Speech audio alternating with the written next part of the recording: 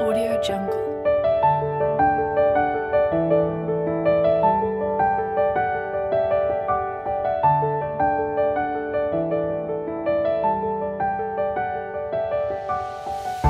除了介绍私房景点，我更喜欢用照片与文字来记录旅行中所望见生命还有生活的美与读者们分享。